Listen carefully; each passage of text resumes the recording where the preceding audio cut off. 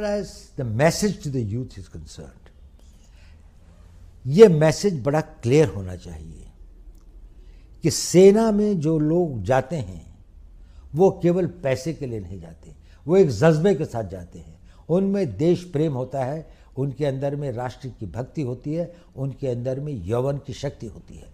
वो इसको इन्वेस्ट करते हैं अपने आप को और सोचते हैं हम देश के लिए क्या कर सकें। अगर वो भावना नहीं है तो आप इस करियर के लिए नहीं बने। इसमें केवल हम उन्हीं यूथ को चाहते हैं।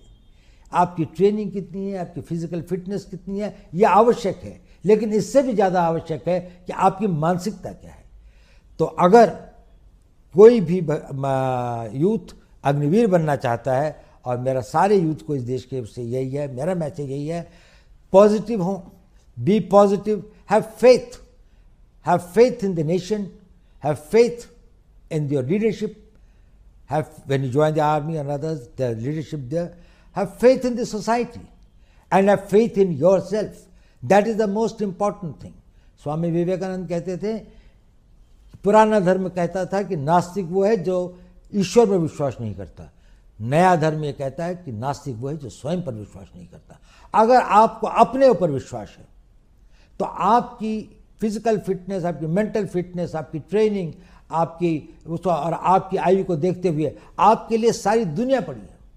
You can conquer the world the whole world